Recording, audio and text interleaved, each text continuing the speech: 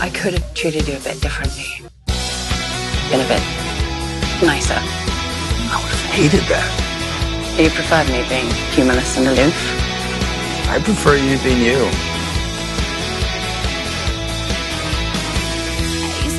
Who are you? Uh, Thomas Magnum. Who are you again? Juliet Higgins? Thomas, you know what I thought of you when I first met you?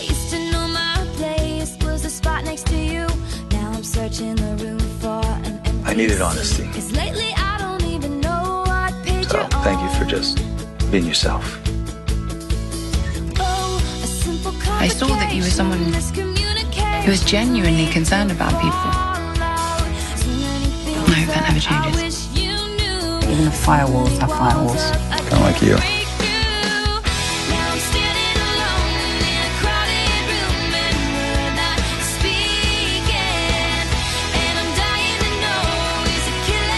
I want you to know that you're my best friend.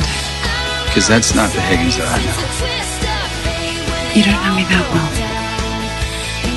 Reality is just too complicated. Well, give me a call and get this. Next chapter. You telling us that you never thought about it? When did you start locking your door?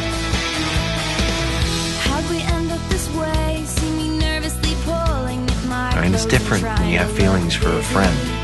And you're doing your best to avoid me. Is that why you've been avoiding me this whole time?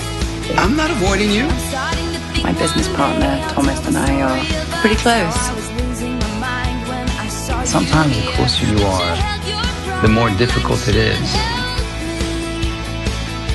Are you in love with him? Oh, you okay? Higgins has been acting strange. I want to know what's going on.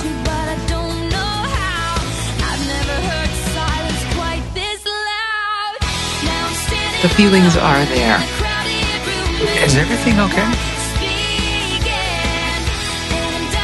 I mean, love isn't something you talk yourself into or out of.